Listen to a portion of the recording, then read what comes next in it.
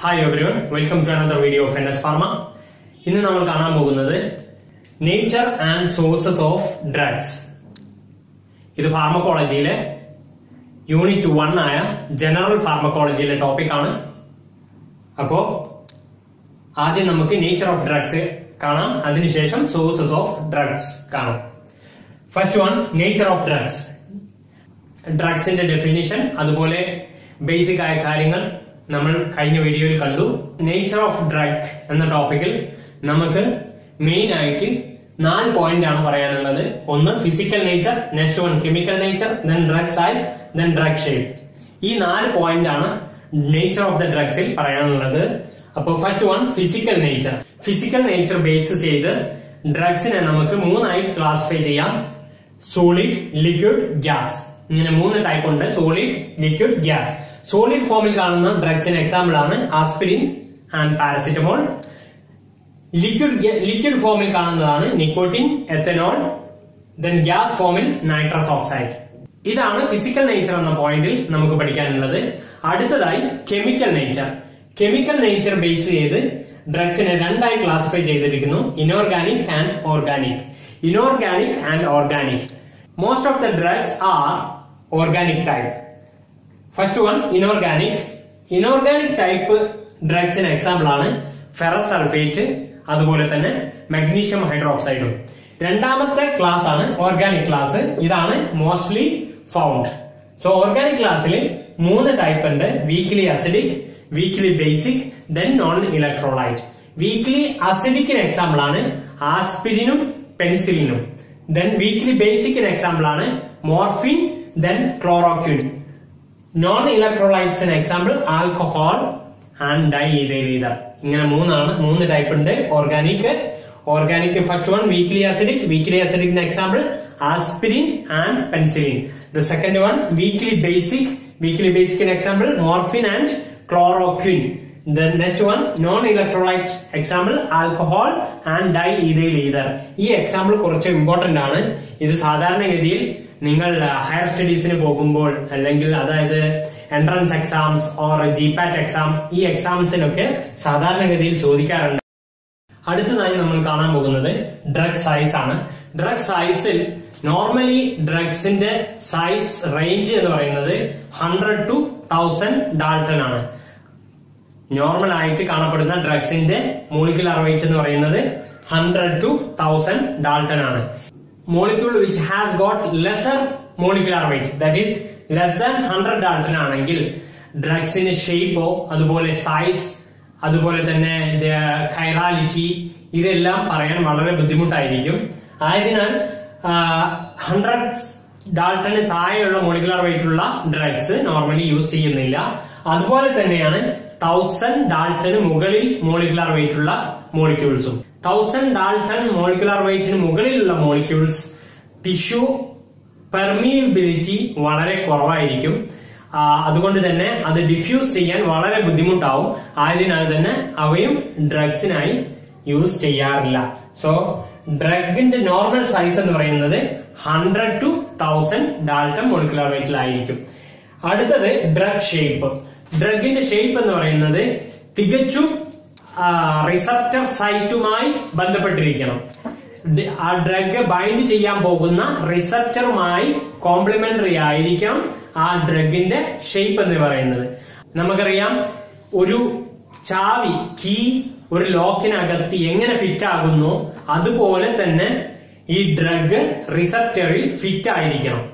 അതാണ് ഡ്രഗ് ഷേപ്പിൽ നമുക്ക് പഠിക്കാനുള്ളത്. ഇത്രയും പോയിന്റ്സുകളാണ് നേച്ചർ ഓഫ് ദ ഡ്രഗ്സിൽ നിങ്ങൾക്ക് പഠിക്കാനുള്ളത്. നമുക്ക് സോഴ്സസ് ഓഫ് ഡ്രഗ്സ് കാണാം. ഡ്രഗ് സോഴ്സ് ഡ്രഗ് സോഴ്സിനെ പറ്റി പറയുകയാണെങ്കിൽ seven different sources are there ആദ്യത്തേത് plant source then animal source then microbes then minerals then synthetic semi synthetic and biotech ഇതെല്ലാമാണ് different sources of the drugs first one is plant source പ്ലാന്റിന്റെ different പാർട്ടിൽ നിന്നും നമുക്ക് different drugs കിട്ടും. Example leaves leaves കിട്ടുന്ന drug ആണ് digitoxin and digoxin പ്ലാന്റിന്റെ പേരാണ് ഡിജിറ്റാലിസ് ഡിജിറ്റാലിസ് എന്ന പ്ലാന്റിന്റെ ലീവ്സിൽ നിന്നും കിട്ടുന്നതാണ് digitoxin and digoxin next one is tobacco plant tobacco പ്ലാന്റിന്റെ ലീവ്സിൽ നിന്നും കിട്ടുന്നതാണ് nicotine okay then atropa belladonna we will get atropine okay? Atropine is obtained from atropa belladonna. Next one is from the flowers. Flowers. Example is poppy of Papaver somniferum gives morphine.